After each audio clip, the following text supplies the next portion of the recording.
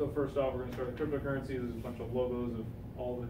There's Yeah, like there, there's a of- thousand probably by now. Yeah, um, probably. between yeah cryptocurrencies and tokens, but we'll get into the tokens a little bit later exactly what those are. Um, and the thing is, most of those are scams. So don't don't feel like oh I need to learn about all these logos. So Uh, so this is kind of a compar- comparison of uh, forms of value storage and value transaction. So we have gold, uh, fiat or dollars, and then uh, cryptocurrency. So you kind of see the different different traits uh, that each of them kind of possess, and these are kind of the the new ones that um, you couldn't really do before. So uh, that's what cryptocurrencies kind of uh, unlock or enable. yeah, and and that's you know fiat in the way we see it as far as how the U.S. government issues currency, and you know, really all of our currency is issued as debt. And one thing that you kind of get down the rabbit hole of like, well, why does Bitcoin have value? You end up having to really understand, you know, our own monetary system to see how it's different. Um, but that's kind of a whole another discussion. But it's uh, maybe a worthwhile endeavor to kind of see well, how does our money work, because then you can really see probably the, the value potential of Bitcoin versus uh, regular U.S. dollars or really any government.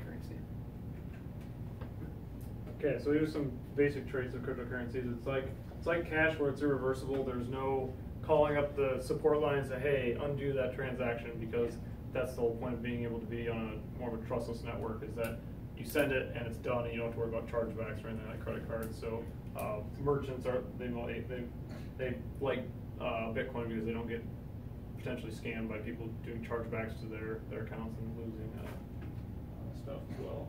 Yeah. Um, and it's the yeah, and it's like gold in the limited supply aspect. Everyone, it's open source code. Everyone can see exactly that this is how many is going to be printed, and everyone knows when someone tries to print more than they should.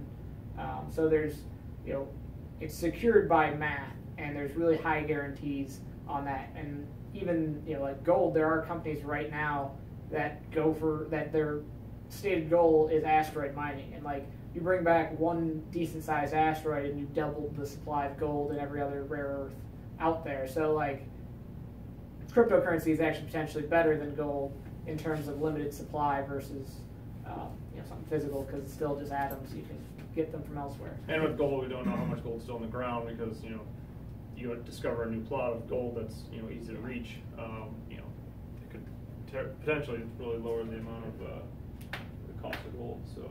Um, right now, for the most part, all cryptocurrencies are pseudonymous. They're not anonymous. Um, trying to get that last bit to be anonymous is actually very difficult because it's running up to the information problem. Um, so right now, um, it's, it's mostly all pseudonymous the best you can. You can. Yeah. So, um, so if they don't know what, what your Bitcoin address is, they don't know that your identity is associated with it, then they don't know who whose that is. But if at any point in the future they figure out, oh, hey, you had those coins, they can then trace every transaction back from when you started to everything past that too. So there's you know some risk there, um, but it's like well if you don't do any- anything stupid with it, you really don't have anything to worry about it. Um, There are there are a couple projects that are working on trying to be completely yeah. anonymous as well. Zcash and Monero are two privacy-focused currencies, and there are some uh, innovations coming down the road with Bitcoin that will make it where you can be a little bit more anonymous. So, and, and this kind of goes back into the into the other slide with the um, aspects of money. That one one aspect that makes money good money is fungibility, which is this aspect that your dollar is worth as much as my dollar, and it doesn't matter where they came from. the face value is actually face value. Yeah, Um, and, and that's the problem when you don't have when you have this pseudonymity where you can track these transactions. Well, if they know that these transactions came from somewhere that you know an exchange or somewhere got hacked, and these they know they're stolen, but you might be the third person out and you don't know they're stolen, but someone else on the network does, then they might say, well, I'm not gonna, I don't want to touch those coins because it might be possibly that you might have been part of that, and so there's you know real risk to the currency without getting that anonymity. So it's not even just for privacy's sake, but just for the you know actual attributes uh, as good money.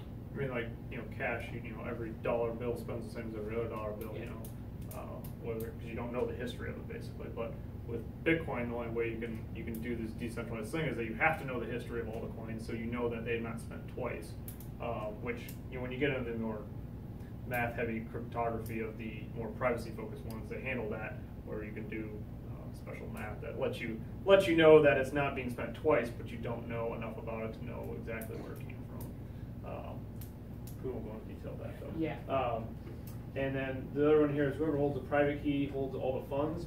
Um, so that's something that's a little bit different. It's a property that you don't really think of with U.S. dollars. Um, so like for U.S. dollars, um, you know, you don't really hold. You hold them in cash. You could say, okay, I have my I have my money right here. Uh, when you go to the bank, it's like, okay, it's just a number on a screen now. Um, and Bitcoin's kind of a similar way in that if you have your money sitting on a, an exchange or where you bought it from, where it's just a number on the screen, you really don't have that money. You just have a claim on someone that is holding your money, and hopefully they're good for it. And you asked me about that because a few years ago I put some money on Mt. Gox's exchange, some bitcoins, and they subsequently, subsequently shut off withdrawals and went bankrupt. And so I didn't get any of that money back, and I didn't have control of my keys. It wasn't my money. Um, it's through bankruptcy proceedings, and I'm supposed to be getting some of it back. But either way, it just illustrates that you know if it's on exchange or Coinbase holds it, you know if they get hacked, there's nothing they can do to to solve your problem. Coinbase is, I'd say, a very reputable company that if they do get hacked, you're probably going to be made whole in some significant way because they got a lot of investors backing them. So unless they really screw up, you're you're probably going yeah, to. I think they safe. have insurance on their deposits as well. They're Yeah. almost like a, a full bank, but Yeah. they just focus more on the crypto than they do the U.S. dollars. Yeah. Um, but yeah, so like a private key is the thing that you can't really. There's no closest would be holding you know everything in cash. Um, but the trick is, is knowing whether or not those funds have been spent. So this is a paper wallet. Um, this is where I kept a lot of my savings, all my savings for a long time on Bitcoin. Um, and this is actually encrypted. So what I did was I printed three of these off, and I only knew the password. Um, so I gave one to my brother, one uh, to my parents. They threw it in their safety deposit box. And I have to trust them not to spend my money because they don't know the passphrase. Um, but they have this private key. So you can still print this off, and as long as you can keep your, your physical wealth secure, you can keep your digital wealth secure because you can generate these keys and do all this offline where it never touches a computer that's been on the internet or ever will be on the internet. Like we, we did it and then destroyed the computer and it never touched the internet at any point. And so we have reasonably high assurances that there's no way anyone's getting uh, no one, these private yeah, keys. no one knew what our, our private key was. They could have Yeah. snooped in the computer and, and stole the bit data. Yeah, and, and as and even with you, when you encrypt it, you don't have to trust your printer, which you know printers are notoriously insecure because well, if it's encrypted, all the printer knows is the encrypted private key. So unless someone gets that and then breaks your breaks your uh, password, then you're, you're pretty much safe. Um, but these are really slick though, and you can do it where they're printed and they're not encrypted. So if you're afraid of forgetting your password down the road or you know giving away as an inheritance or something, they can they can always get it. So all I'd have to do, and if I had my camera or my phone, I'd just be able to scan this and then decrypt it and bring it right into my wallet and then spend it. Um, and so if if I gave you this piece of paper and it wasn't encrypted, you would then you could have those coins, but it doesn't quite work the same where it's a, a complete bearer instrument like cash because well if I had another copy of this and before you could spend it I went and spent it well you have a piece of paper that's already been spent. And so it's not quite the same principles as cash um, but you can make it quite cash like but it's even more secure because you can encrypt it. So you walk around with a bunch of money and less uh, less someone knows what it is you know or the- just a, a quick question, and I didn't read the article, all I saw was a little headline that said some hacker stole seven million dollars in cryptocurrency. Yeah. What was the deal?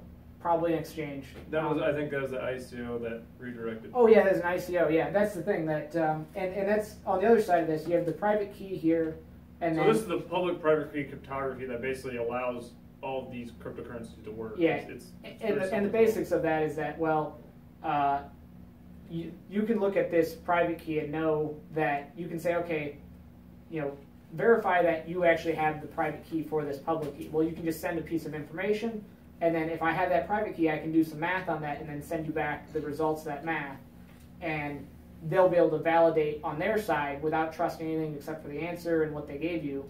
To say, hey, they actually do have the key that corresponds with this pri- this public key. And so um, to receive money, you know, to load this thing, all I did was I had coins and then I put it paid to this uh, Oh, public, key, and then the private key is the only way you can unlock that. And what happened recently with that seven million dollars was that there was an ICO, which is a, a token launch, which we'll we'll get into that a little bit later. But uh, essentially, people were buying into this, and the thing was that the website that said, "Hey, here's the address you need to deposit to buy these tokens," uh, that website was hacked, and they just replaced the the public key, and so people were sending it to the wrong address, but they didn't know that. So um, that's you know oh, that that's the first time we've seen a hack like that happen, and so it's still you still need Which each- what, basically had nothing to do with actually the crypto part of it being hacked. It was actually just a website. it, it's usually all the systems around the cryptocurrencies. Like Bitcoin's never really been hacked directly. It's always been exchanges or other people that have other other types of security flaws around it. Indirect attack, basically. Yeah, because you can't attack it directly because the laws of math just prevent it basically. Yeah, if they were to attack Bitcoin correctly, like everything's gone. It wouldn't matter. They, Like could, they could. you couldn't do credit card transactions online. Nothing would work in our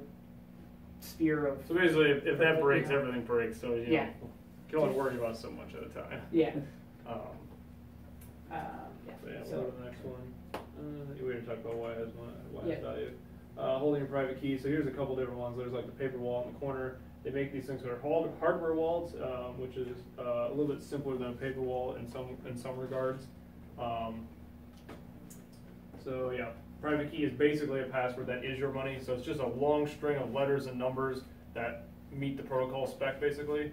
Um, and if you ever can't reproduce that set of numbers by way of uh, you know memorizing it or you know, having a piece of paper that has it, that is your money. That long string of numbers is basically a key that unlocks your funds. Yeah.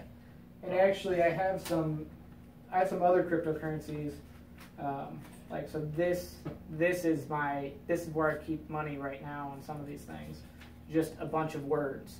Um, so instead of even a long string of numbers, there's algorithms that'll take these words and turn that into your private key. So if you're if you're really trying to you know like get out of the country and not lose all your money, uh, all you have to do is remember a bunch of words. And if, if you remember those words, you can walk butt naked across the border and then get to a computer somewhere and then bam, you have all your funds That'd be the brain wallet there, where you just memorize your key. But that also means there is no physical backup of it.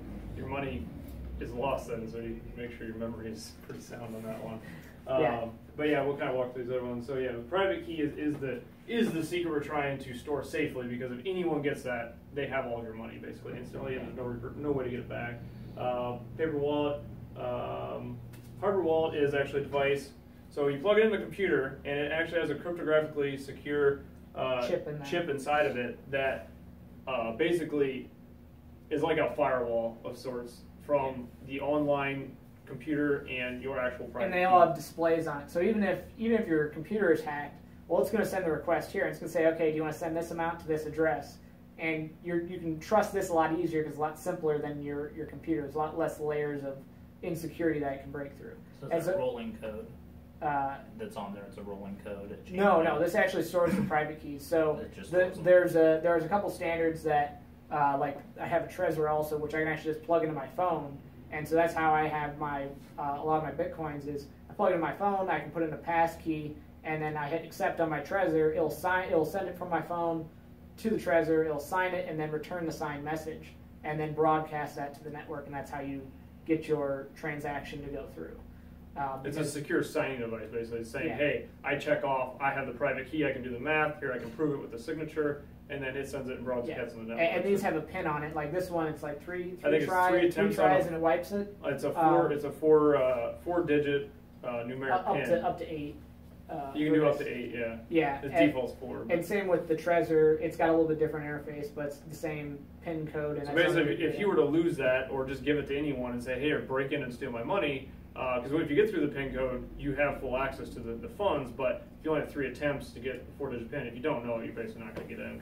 yeah, and then and then it will wipe it. So you still have the paper backup, which goes back to the kind of like the brain wallet. Like when you create one of these or a Trezor, um, which this is a Ledger wallet, um, which it, these these you can store a lot of different cryptocurrencies on there. Trezor only supports Bitcoin and Litecoin, I think, right now. I think so. Um, but uh, This one can do about six or eight currencies, I believe.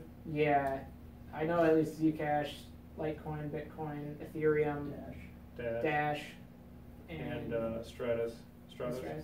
Yeah, Okay. that was on there. Um, but yeah, and, and so then these are backed up. You still have a, a but I you, think the ledger's like a 24 word seed, but it's still going to be on a piece of paper somewhere. But if you're really paranoid about that, well, you can still just use your own encryption and say, okay, I have these 24 words, use an encryption program, and then write the encrypted thing down. And as long as you remember your password, you can then get it back out. So there's there's lots of ways if you're really really paranoid about this stuff. But you know, if you can if you can keep your money safe or anything else valuable safe, then you're you're probably okay with just storing it in plain text. and the way the ledger works, basically you have you know six or eight wallets on there or, or private keys, and they're all backed up by the same seed. Then, so if you if you were to lose your device, you could restore that device with that seed, and you would have all of your funds for, for all of them back on there. So. yeah. Um, so yeah, paper wallet, hardware wallet, brain wallet. So hot wallet is basically you can download an app on your phone that holds uh, that holds Bitcoin on it. Um, we call it hot wallet because it's internet connected device, uh, which means that it's always susceptible to being attacked. It's just like you don't keep too much money in your actual wallet because you could get mugged.